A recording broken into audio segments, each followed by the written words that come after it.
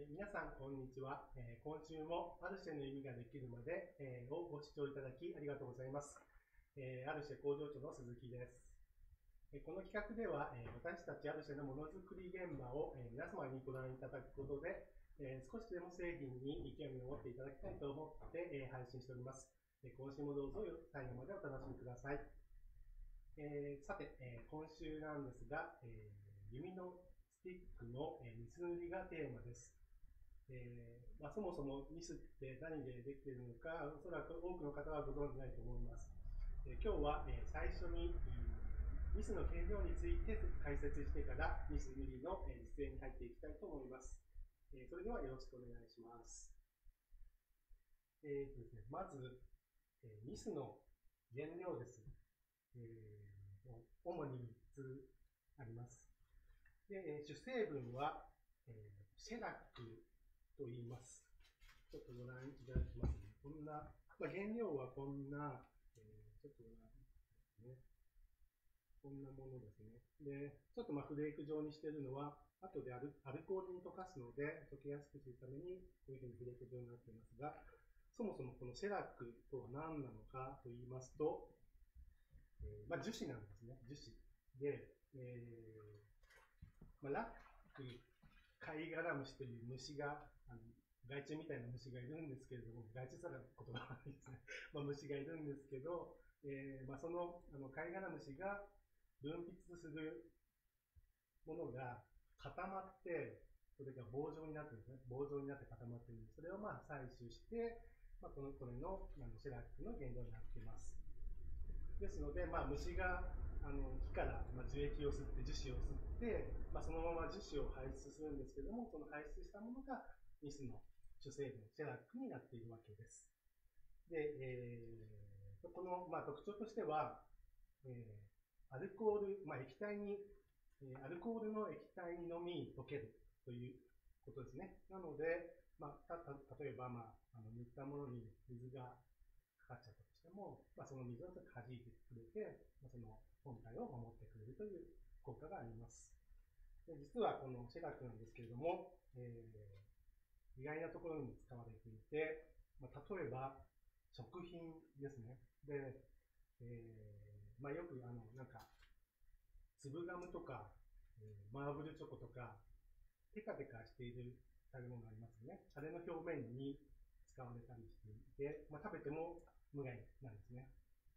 まあ、その光沢を出すたこのシラックを使っています。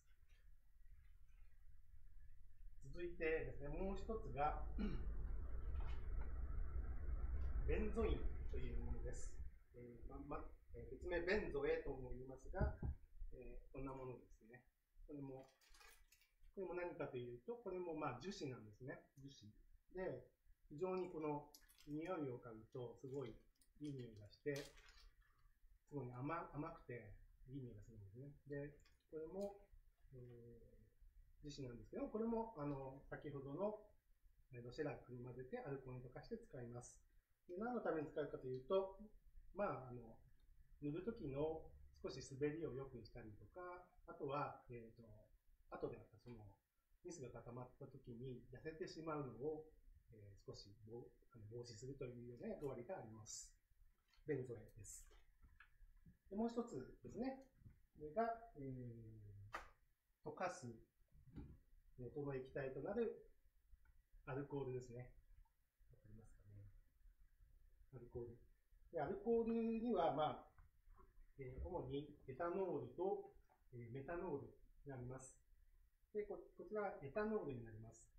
で、メタノールよりも少し、なんというか、まあ、後でも解説するんですけど、その、塗るときに乾きすぎてもいけないし、乾きすぎると、えー塗れなくなってしまいますし、えー湿りすぎても、要はべちょべちょべちょになってしまうので、ちょうどなんか半乾きの時に塗りたいんですけれども、えーまあ、メタノメタノールですとちょっと乾きが早いので、すぐに硬くなってしまうので、エタノールがいいと思っております。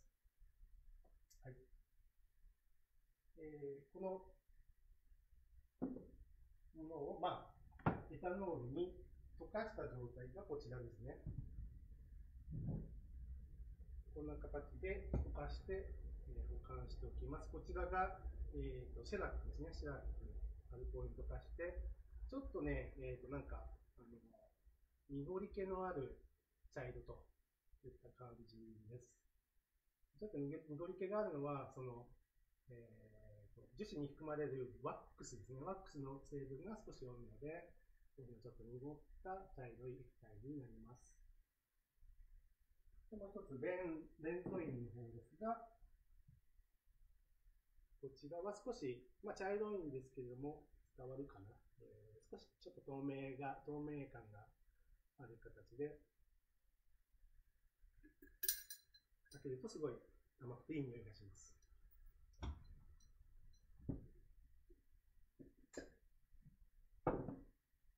はい、えーと、まあ、ニスの説明は以上で、それでは、えーと、実際にメニューに行っていく、えー作業に移りたいと思います。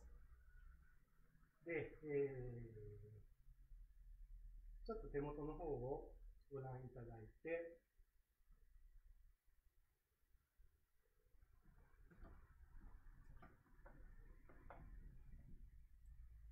ニスを塗るんですけども、これ別、あのーこんな感じですね。えーと、こういうふうな綿の布なんですね。綿の布にニスをつけて、でそれを、まあ、最初にちょっとアルコールで、どうですかね。ちょっとまあ10円玉が台ぐらいにちょっと湿らせておきますね。アルコールで。で、えー、と、先ほどのシェラックと、えベンゾインを混ぜたものですね。混ぜたのがこの小瓶に移っていますが、このニス、混ぜたニスを少し取ります。で、これだけですと、えー、と塗るときに、えーなんていうか乾いてしまって引っかか引っかかっちゃうんですね。で、滑らかにあのこの布を移動しながら、えーすり込むっていう感じですね。すり込むことをして、まあ、あの木の方にニスを移していくんですが、これだけですとちょっと引っかかってしまうので、少しですね、このオイルなんですけど、オイルを1滴ぐらい。1滴はちょっと多いですね。半滴ぐらい。取って、ちょっとこれを伸ばしておきます。こんな形で準備しますね。で、えー、ちょっとその液体成分が多いとやっぱりぐちょぐちょになっちゃうので、少し、なんか、半乾きですね。半乾きの状態になるように、時間を置いて、で、ちょっと塗っていきますね。まず、耳のヘッドの部分からやっていきます。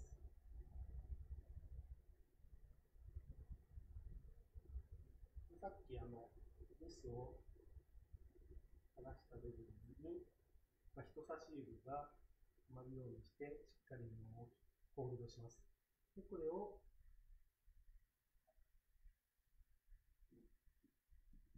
今ちょっとヘッドの裏の方をですね。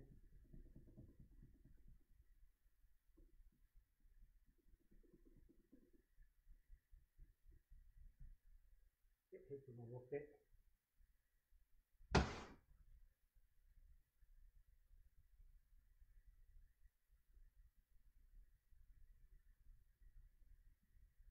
塗っていきます。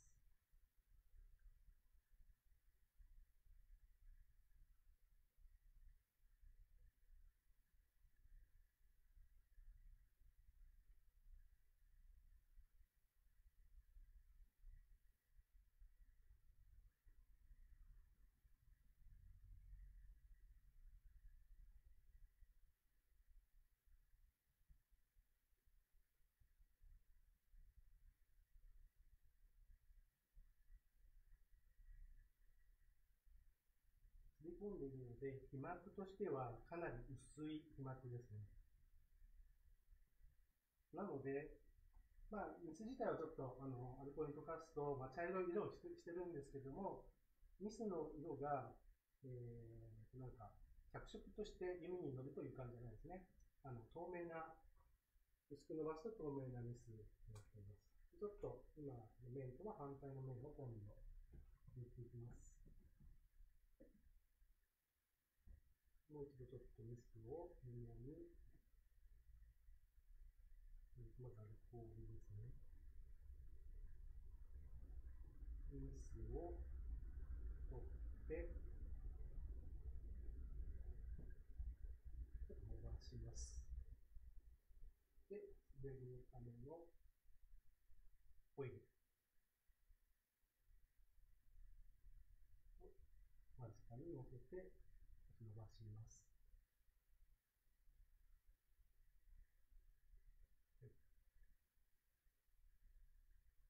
人差し指にホールドをして、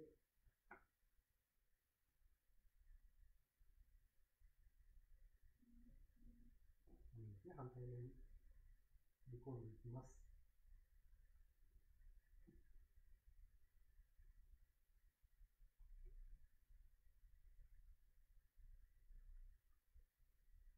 全部見て早くて、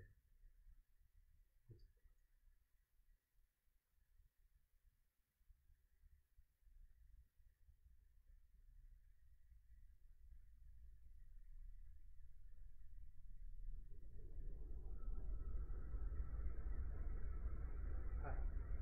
こういった感じですね。ちょっと方向を変えて、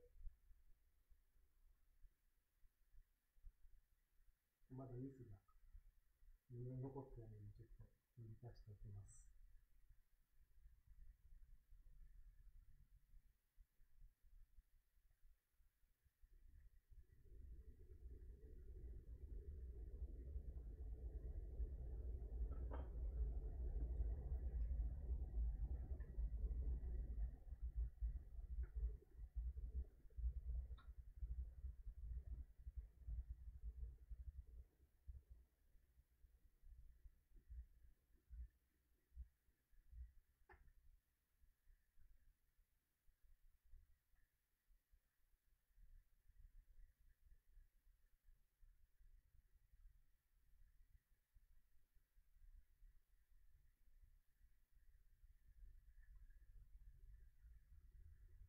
今ちょっとこすりつけると少しキュッキュッキュッと音がしてるんですけど、マイクで拾えてるでしょうかね。まあ、半乾きの時にこういうふうにすり込むと、ちょっと人の摩擦でキュッキュッキュッキュッと音がするんですけど、この状態がいい状態で、この時に水が乗っているということになります。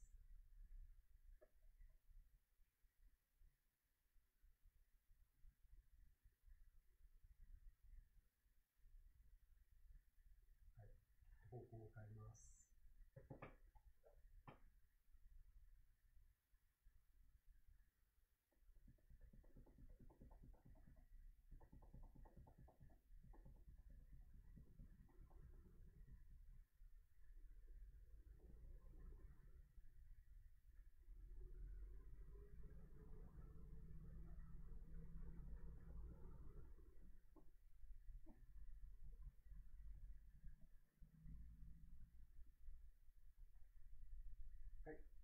ちょっとまあヘッドは、ヘッドの部分は大体乗ってきたので、ボディの方に移ります。ちょっと、これと引きの画面で、もう一度ちょっとミスを継ぎ足、して、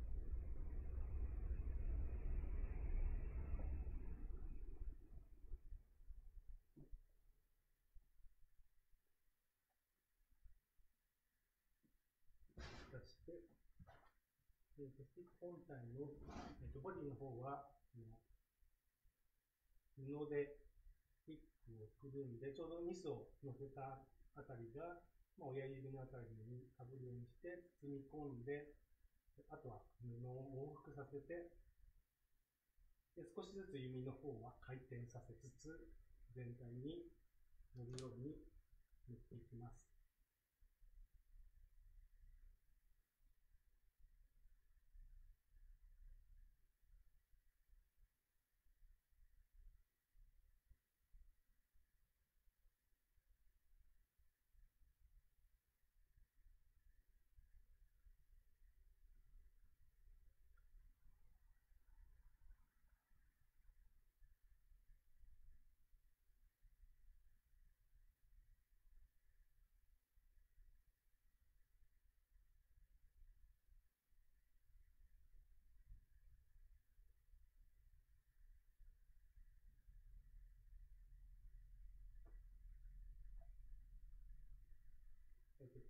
ね。ちょっと、もうちょっとだけヘッドを塗りたいので、ちょっとヘッドの方もう一度塗ります。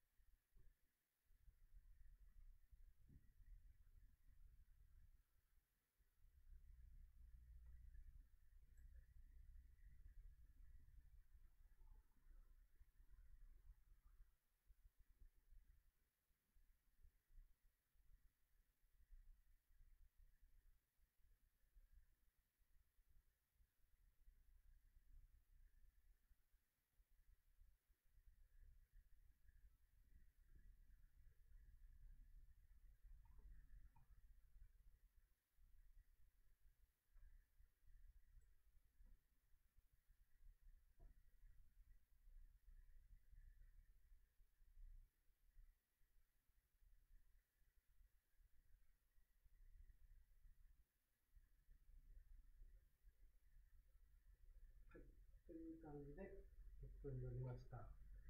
で、えー、本当にあの薄い皮膜ですので、えーと、乗せた途端にも乾いていく状態ですね。で、えーとまあ、あの楽器本体の方は、まあ、色ニスを塗って、今何度も塗り重ねて、まあ、色をつけていってるんですけど、えーと、弓の方は、まあ、こんな感じで塗って、まあ、ちょっとその、火がちょっと、その、密度がちょっと低いような木っていうのはもう一度、その、もう一度重ね塗りをして、えー、まあ、まあ、せいぜい2回か3回が、えー、重ね塗り塗りする回数ですね。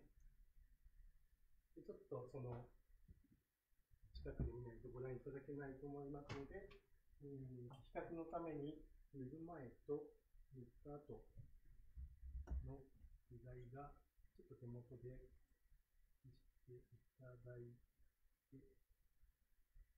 わかりわかりますかね？大丈夫ですか？はい、こんな形で、えーまあ、光沢ですね。まあ、非常に光沢が出る素材ですので、ミスを塗ると、えー、光沢が出る。しかもその、あの、ペンランブコ自体、その、木の中がキラキラしている、まあ、あの外観の良い材料ですので、まあ、そのあの美しさを引き立てるという形になります。はい。えー、ですね。はい。えー、よいしょ。えー、これで、えー、完成ですね。えーと、えーとえー、本日もご視聴ありがとうございました。えー、本日はここまでとなります。えー、ご質問や、えー、メッセージなどは、えー、お気軽にコメント欄にご記入ください。アルシェでは毎週毎週水曜日の夕方6時半からライブ配信を行っていきます。最後になりますが、アルシェはメーカーホームページ、そしてこの5月からは公式オンラインショップを開設しております。ぜひご利用ください。それでは来週もまた同じ時間にお会いしましょう。さようなら。